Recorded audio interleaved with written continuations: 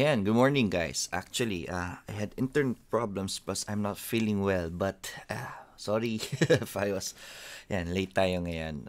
Nagka-internet problems ako eh. I was trying to get online yesterday. Kaso nga lang, wala eh. Anyways, ayan, good morning, good morning everyone. I'm just gonna go diretso sa mga questions ninyo, okay? Um, really, really sorry if we are late today. Uh, today is a Tuesday and, yan, um, most of our recommendations, yan, nag-hit naman niya. I hope walang naipit kay H2O kahapon sa agawan kay H2O. I told you yesterday, it wasn't really that significant of a move kay H2O. Kaya, ayun, um, yes, umakit siya saglit because of the hype But then again, the true trend came and bumagsak siya. Today, H2O is still a good uh, it's still a good stock to watch for intraday. Yan again guys, sa intraday lang sa H2O today. Um uh ano pwede natin tingnan ngayon? For intraday, look at MHC today. For intraday, ang ganda ng M, M galaw ni M, MHC yesterday.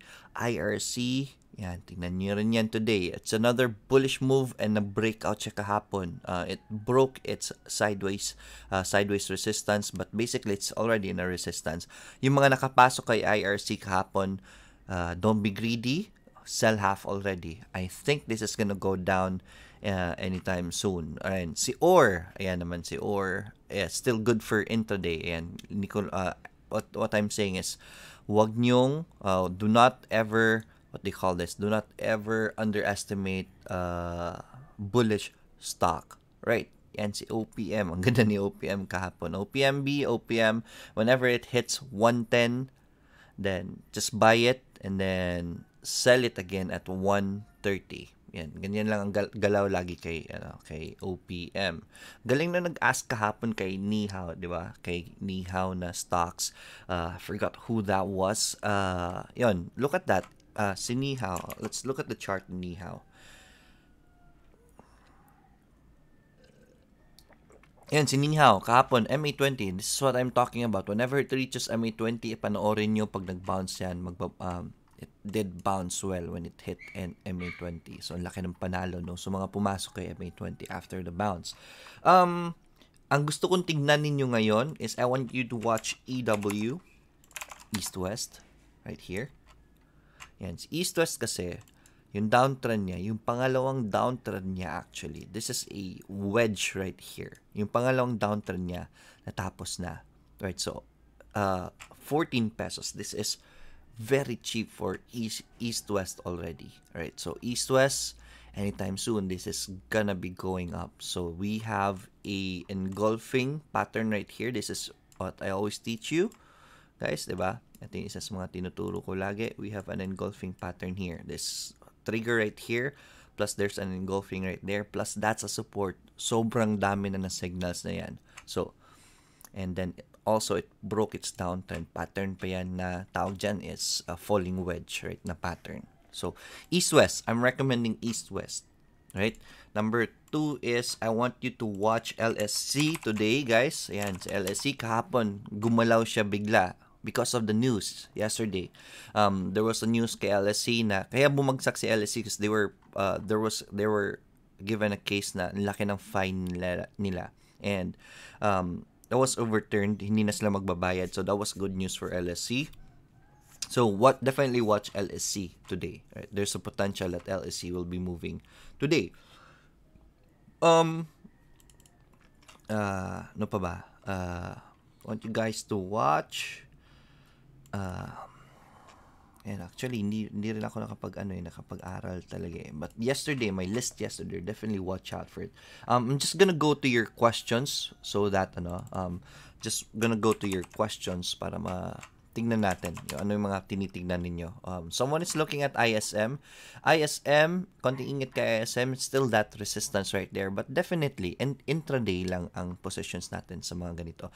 I know guys, this kinds of movements is nakakaingit. But usually, if you're at the top already, um, while people are celebrating, that they are also uneasy. So anytime magkabentahan yan, baka magkabentahan na kay ISM eh. But it can be wrong you can always check it out intraday, right? Ang ang ang ganitong mga movements, guys. you have to look at yourself.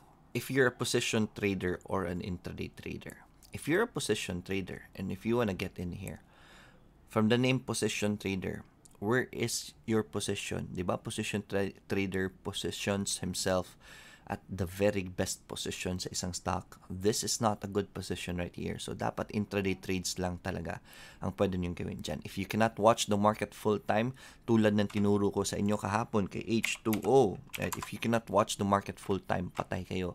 So, kung pumilit kayong pumasok dyan, if you didn't watch the market, ipit kayo dyan right? So that's why i really want you guys to be very responsible. If you want to chase stocks make sure you can watch the market and you know how to sell right away. Um clark daniel sisto has a question New, newbie question po based on your experience ilang companies ang dapat na sa portfolio? Yung diversified enough pero hindi mahirap i-monitor. 3 to 5 stocks for clark. Joel igares pwede bang pumasok kay ALI yes pwede pang pumasok kay ALI still very cheap right now ALI and we have so many confirmations already. Malayo-layo pa resistance niya. But then again, stay light. I did post about this on my website. What is the strategy for the PSEI this week? Uh, I said stay light, meaning if pumasok kayo dyan, um, do not hold it, do not expect it to go up right away because we haven't seen the market really reverse yet. It's a, these are good signs kay PSEI, but no no solid signs of reversal yet. We still have resistances and we don't have a higher low. So wala pala wala pa rin tayo talagang confirmation. It's already on an uptrend. Um, so, stay light meaning pag pumasok kayo dyan, it's still very near uh, support and malili pa sa resistance, there's still chance that you can get in. And once it fails to hit, I mean, fails to break out, break out through that resistance, just sell half right? Mag-sell half lang kayo. Then buy more again when it re- it makes another support. So yes, pwede pumasok kay ALI and sa other blue chips who are already forming supports, right? Christian Lacaste, ALHI. Yun, si ALHI nga pala. Very good question. Nag-support na ito kahapon eh. Right, right here, ALHI is already in its support and is very solid already. So I'll be writing ALHI on my recommendations today.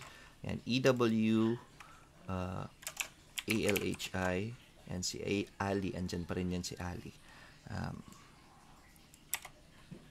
si IS I'm not sure about IS bakit nasa lista ko si IS and si IS kasi nag-perform ng support.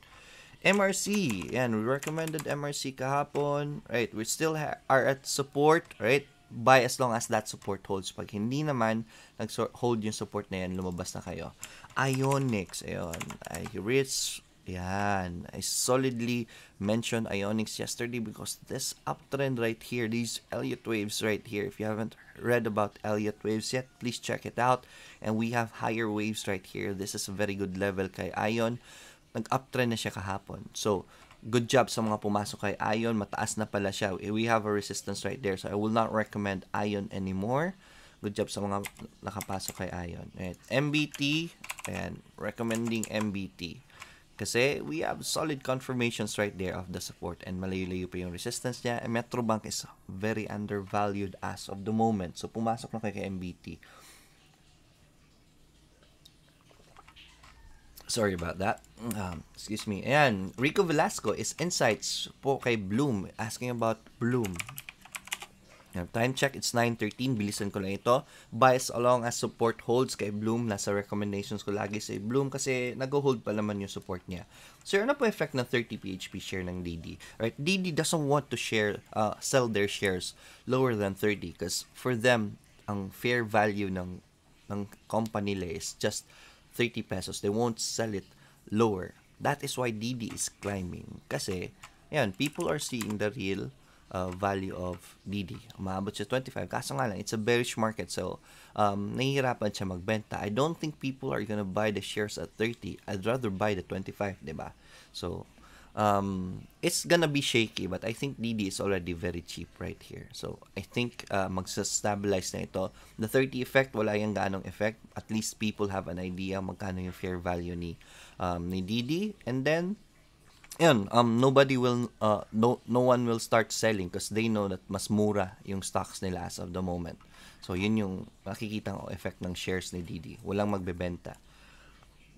Alfie Tamayo. That was Anyara Marie Harabejo. Right, Alfie Tamayo. X, sir. Let's check out X. check natin si X. Yan, si X. Right, after that uh, support, very good on support. X is now breaking that, what do you call this right here? Uh, it broke this, uh, what do you call this? Uh, Bollinger Band. It's a breakout. Ang ganda ng move ni X kahapon. Right? We have a resistance right here. Pwede siya mag-breakout ulit today. Ganito ang gawin nyo guys. Because this is, uh, this is a solid move kay X but your risk is around 5-6%. So, delikado yung position ninyo. Good job sa mga pumasok sa loob. Today, X, it did the Bollinger Band trigger but wag nyo papasukin kagad yan. Pasukin nyo yan, pwede, pwede kayo makapag-intraday play nito. Right? if you're an intraday player, if you can watch the market, especially you, Alfie Tamayo, the one who asked if anong gagawin kay X. If you can watch the market, pwede mo habulin ito. Pag nag-bullish yan today, you can spot intraday, uh, you can get in intraday. Make sure you just cut loss sa entry point mo, right? Or you can use this resistance right here as your support para malit ang risk mo, right? That will be your position. Pag nag-breakout yan today, pwede mo habulin yan si X, right? Um, Christian Gabriel, mat- mataas na si Ion. Yesterday was the best op- uh, position. Did recommend that yesterday, si Ion, kasi the Elliott Waves ni Ion, ang ganda na. Um, Joseph Magsino is asking about house. I've been recommending house because of this support right here. Yan, unti-unti na siyang umakyat. But we are already in between support and resistance. Right, you're already between support and resistance, so I don't want you to chase this anymore. This is a missed opportunity already. Mali mahirap na to. You have the option, yes, pwede mo habulin yan, baka pumunta sa resistance, but I strongly recommend not, especially for newbies, kasi yung risk nyo, look at your risk right here. Andiyan yung position niya. When, saan ka magka-cut loss? 6% ang cut loss, I mean, ang cut loss level mo kasi it should be below the support, right?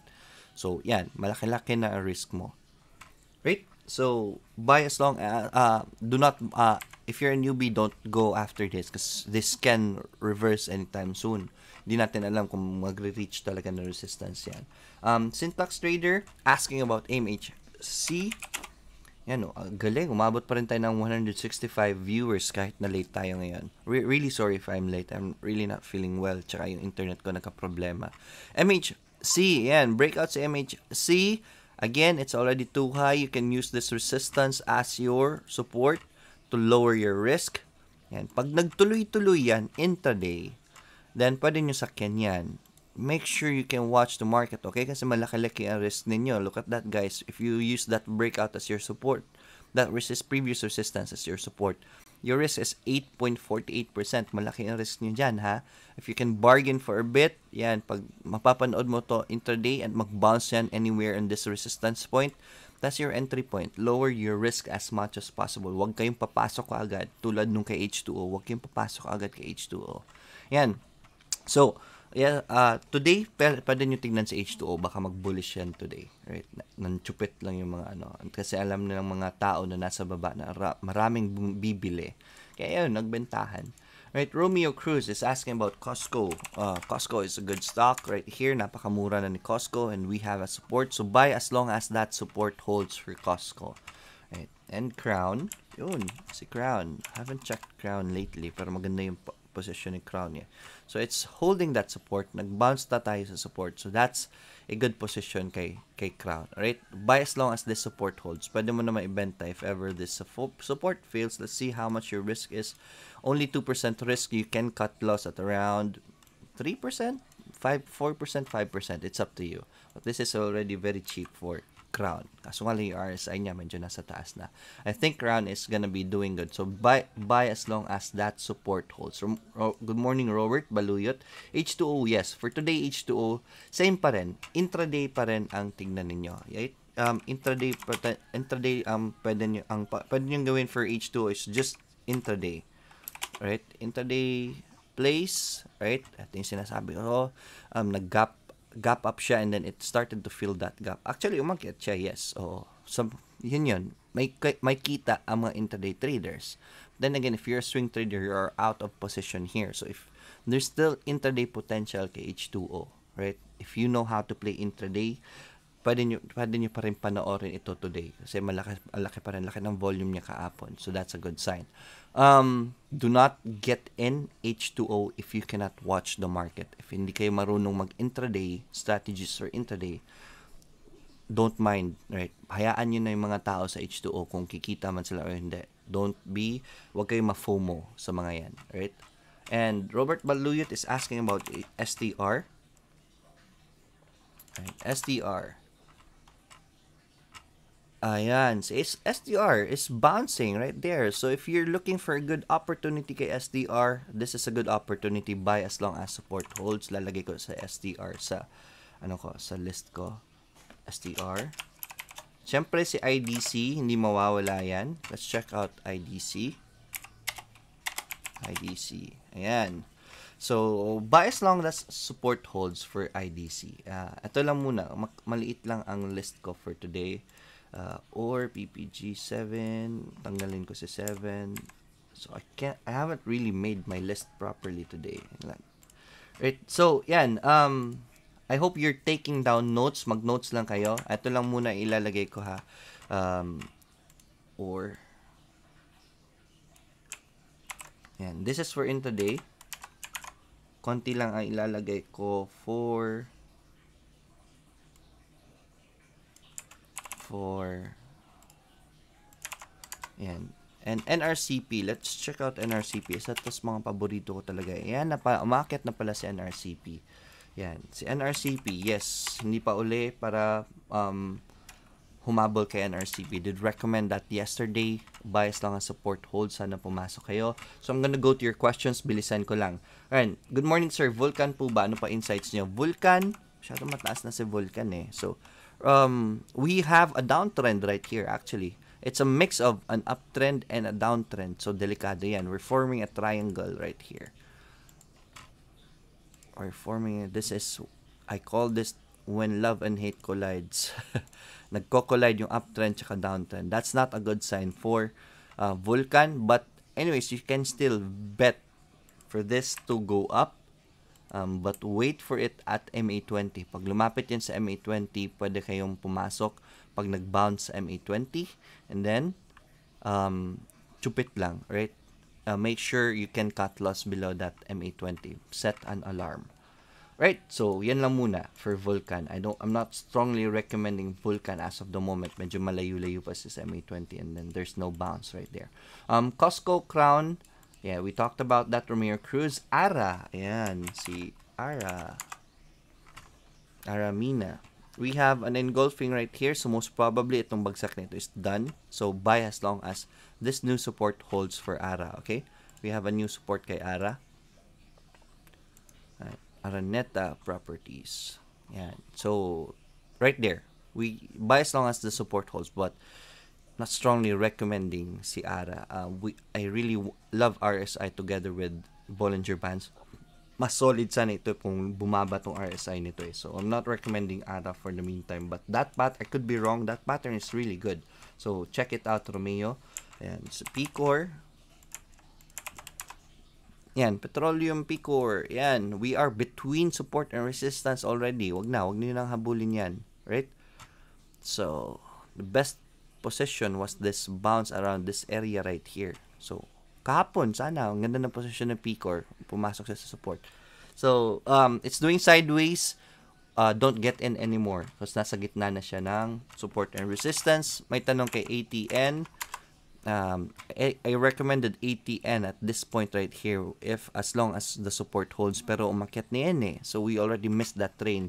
Ito yung laging lessons ko sa inyo. Do not, uh, do not chase uh, opportunities that you missed. Yan, si Frogs on the Loose rec- uh, asking about ATN. Remember ATN? I recommended ATN when it did a breakout, di ba? And, yun, nagtuloy-tuloy na si ANI. So, again, this is already a missed opportunity right here, right? Nag-breakout si ANI during this time we have this two climbs already. So, anytime soon, matatapos na yung climb na yan. So, I don't want you to waste, uh, to chase that anymore. Right? So, wag na, wag nang pasukin si ANI. Um, how about BDO, sir? Yes, BDO is a solid company. And the position is very good kay BDO. Yan, pwede, pwede nyo nang pasukin si BDO. Look at this pattern right here. This is a very good very good bounce for BDO. Napakamura na ni BDO. So, if ever the market has already recovered, that's already a good position kay BDO. Mura na si 126 for BDO. Right? So, again, just stay light for mga sa mga stocks na blue chips. Alright? Um, time check. Uh, I still want to give you uh, give you time to prepare for the market. It's 9:24. So last three questions lang bilisan ko. Si SSI naman, Ayan, RSI is doing good. And we have an engulfing right here. So this is a good sign for SSI. Plus, may dividend siya today. So, ingat lang dito kasi baka bumagsak ito sa dividends niya pero maliit lang naman yung dividends niya. So, I don't think that will affect that much. Um, yan, SSI has a good pattern but this could have been driven because of the dividends. So, just ingat lang. If ever this continues going up, I mean, as long as this support holds, you can buy and then just cut loss below that below that support right there. That's a good sign for SSI. Uh, last two, ISM bought at 310 yesterday. Tataas pa ba? Um, mamaya, sir. Yan, uh, Julius Antipala, good job if nakapasok ka kay ISM. Let me see. Let me just double check ISM. 310. Um, I don't think this is gonna climb any much more. So, I want you to sell half. Sana magbenta ka dito sa 3.4 ng half eh. If, um, if, actually, delikado to eh. Uh, 310, dapat nakapagbenta ka na ng kalahati dito. Guys, um, Julius, I have a video about how to handle your winning stocks. Kahapon, ang position mo at 3.10 is swing trade, uh, intraday trade. Ang intraday trader, nagbebenta yan kaagad within the day. It does not, uh, an intraday trader will not hold his position as much as possible. Kahapon, umabot siya sa 3.40 it uh, 3.44 and then when it started to lose momentum dapat nagbenta ka na ng kalahati right? That's how you do intraday. Ito yung sinasabi ko sa inyo do not force doing intraday trading if hindi pa kayo marunong sa mga mga techniques sa intraday trading but at least you're still learning. You have 310 sayang yung gain uh, sa uh, sayang yung gains mo. Then again gain is a gain. You can always sell half here uh, let the other half ride. Pag nagtuloy-tuloy yan um maliit na lang ano yun eh, ang gap mo eh. Pag nag-go, nag-aakyat yan and then it fails, then sell half. If magtuloy-tuloy yung pagbaba, just cut loss your, uh, just cut your position, right? Kasi malayo-layo yung bagsak niyan if ever babagsak yan. The thing with the stock markets, we really don't know where the stock market will go. So last question, exposure from Erwin Ibanez, we already discussed that. Huwag nyo nang habul, um, uh, Review lang kay X. Yes, nag-Bollinger Band trigger siya. Wait for it to do a breakout of this resistance right here para meron kayong uh, meron kayong cut loss area, right? So, wag niyo muna habulin 'yan. Um Asan na 'yun? Nawala. NRCP is good for Romel.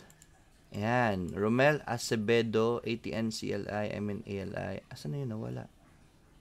Ang dami palang questions. Uh, guys, hindi ko masasagot lahat ng questions nyo today. It's already 9.27. Tingnan ko lang kung sino ang isa sa mga ano pa. Pwede ko pang matanong. Ayan, let's talk about Heaven. Heaven, dapat lumabas na kayo noong na-break pa yung support niya. Nako. But right now, Heaven is doing a, forming a, a, what they call this, a, a support right here. Uh, that's a good sign. Baka mag-recover lang ito. But this is on a downtrend. Mag-recover ito ng konti bumagsak. Ingat kayo kay Heaven. Right? Ion, goodbye na sir. Mataas na yan. Um, you already missed the train for Ion. Guys ha, kahapon ko pa rin ni-recommend si Ion. Bakit nyo hahabulin ngayon? Eh, kahapon pa yung magandang position niya.